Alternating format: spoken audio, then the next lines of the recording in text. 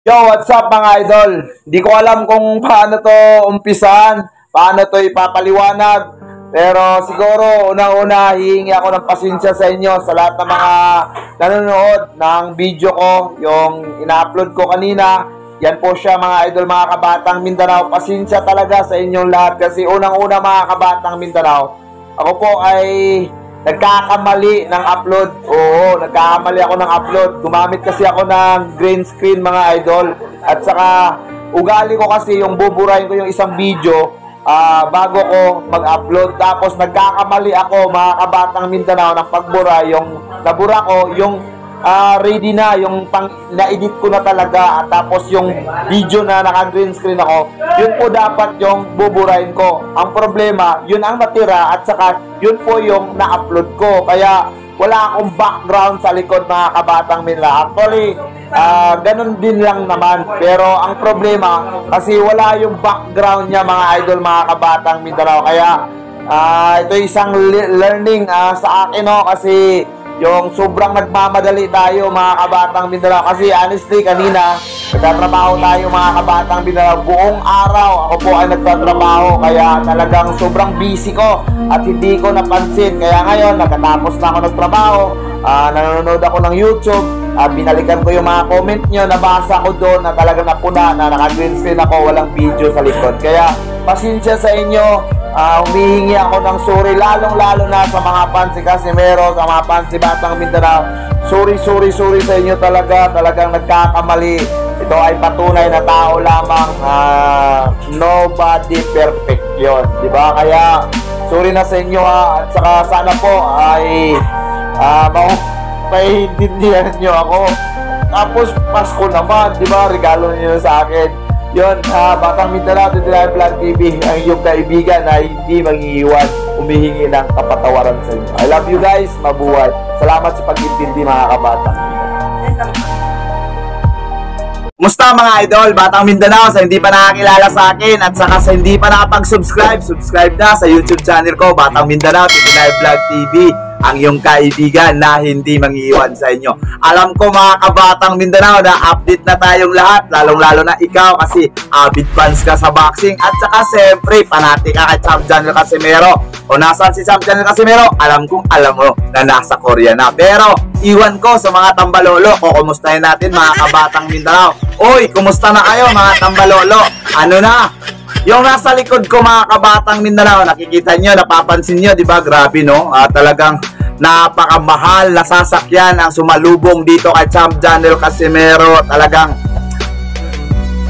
kabaliktaran doon sa mga sinasabi nila no at saka siyempre itong lagi nilang paninira dito kay Champ Daniel Casimero ito na ito na yun mga kabatang Mindanao bali Champ Daniel Casimero nasa Korea na upang ah, harapin itong kanyang ah, hamon sa buhay na darating ngayon December 3 mga kabatang Mindanao kontra Rio Akaho at saka napaka blessed nitong si ah, Idol Champ kasi alagang-alaga siya sa isa unboxing no? Itong dito sa mga promoter na talagang may hawak ngayon sa laban ni Champ Janel Casimero at saka dito kay ah, Akaho mga kabatang Mindanao. At saka talagang dito mapapansin natin binibigyan ng special treatment itong si ah, Champ Janel Casimero Ah, kabili, kabaliktaran doon sa sinasabi lagi ni Butiki na napakaganda yung buhay mo. Nung dito ka pa sa gilid at saka sa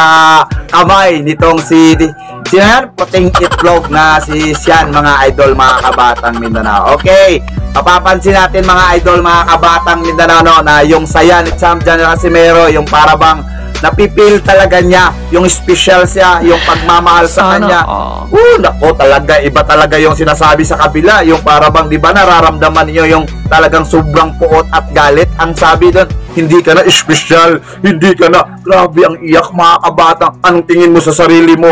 Kung noon sikat ka, iba na ngayon. Oh my Gago! God, grabe talaga. Pero dito mga idol, mga kabatang Mindanao, papapansin niyo yan, you know, 'di ba? Talagang nandun na sila sa Paradise ah, Hotel, yung sa Binyo na laban, mga idol, mga kabatang Mindanao, talagang VIP pa da, dyan. O, ano na, Bisaya na ako, mga idol. Mo. Ah, VIP pa, talagang grabe yung treatment, grabe yung pagmamahal. sa Isa Boxing, itong mga promoter na ito, itong mga taga Japan, talagang saludo ako sa inyo at saka pinapansin talaga nila na kabaliktaran Oo, doon sa mga sinasabi nitong mga tambalolo, yung yung yung walang kakayahan, ang isa in boxing, yung promoter na ito, yung parang uh, pipitsugin at saka hindi pa masyadong matagal dito sa industriya ng boxing. Ano ba to? Sino ba yan? O yun mga idolon, mapapansin nyo mga kabatang Mindanao, alagang alaga dito si Champ Janel Casimero, di ba? Grabe yung suporta ay binibigay nila kay Champ Janier Casimero talagang inaalagaan nila yung mga boxer nila. Naka-remember ako mga idol. Kaya na naman. Uh, nung nasa poder pa itong si ano no, si Champ Janier Casimero nitong uh, puting itlog. Aba, tika mga idol. Sa totoo lang, napapansin ko nung mga training niya Ah, okay naman yung mga training niya. Pero ang problema mga idol, sa totoo lang, tinitake home eh. Tinitake home itong uh, puting itlog at kahit saan saan na lang niya inilagay yung mga boxer niya. Doon nga sa mga ano lang niya eh, sa ano, bahay niya. Balitang balita ko pa mga idol, mga kabatang Mindanao, yung ibang boxer kawawa kasi natutulog sa ano lang, diskanso lang mga idol. Kaya dito talagang iba. Oo, iba ang nararating na ni Champ dito sa kanyang uh, bagong ano no, uh, promoter dito sa kanyang laban mga idol, mga kabatang Mindanao. Kasi bakit? Puno ng pagmamahal, pag-aaruga si Champ Janel Casimero. Ito ba yung sinasabi nila na pipitsuging ano? Uh, promotion? Ito ba yung talagang walang kakayahan. Ito bang ito ba yung sinabi nilang hindi kilala pero pagdating sa pagmamahal, grabe. Pagdating sa pag-aaruga, ito yung mga ganitong uh, promoter. Yung kinakailangan ng isang boxer, hindi yung uh, promoter na putang ina, ikaw pa yung nagmamanis, ikaw pa lahat sa iyo na tapos ano tapos nanakawan mo pa, tapos yung mga something na mga ano dyan, hindi mo pa inibibigay, tapos kinukupit mo pa, at saka mga tulongis, andyan, grabe talaga, nakipagsabotage pa dun sa kanilang, ay nako, ang hirap nun. Pero dito mga idol, talagang damang-daman itong si Cham Chandler Casimero, yung pagiging special niya. Kasi bakit? Kinakailangan naman talaga yung special yung turi mo sa boxer kasi sila yung nakipagbugbugan, sila yung uh, parang nagtatanim ba, yung yung sila yung yung ano yung parang uh, ano tawag nito mga kabatang Mindanao. Sila yung uh, source of income mga kabatang Mindanao kung baga, yung parang ganun, di ba? Sila yung dahilan bakit uuwi at uuwi ng malaking pera itong mga promoter na ito dahil sa mga boxer. Hindi yung talagang puta na nanakawan mo pa, hindi mo pa ipapakita yung mga kontrata mo kung magkano yung makukuha mo at saka ano yung mga benepisyo mo puta. Ano ba yun? Oo, hindi ganon mga idol, mga kabatang Mindanao. Kaya ako, saludo ako dito sa Isa Unboxing, no? Talagang uh, mahal na mahal nila yung mga boxer nila talagang responsable sila sa kanilang pagiging ano no uh, uh, promotion mapapansin nyo dyan mga kabatang minakam dyan kasi meron talagang VIP treatment at saka ito napupuna ako mga kabatang Mindanao. Ito ba yung ano, uh, kangkungan? Ito, ito ba yung uh, sinasabi nila na barya-barya lang? Abati ka sa hotel pa lang mga idol, talagang grabe na. Hindi talaga pipitsugin mga kabatang Mindanao. Ito ba yung sinasabi nila?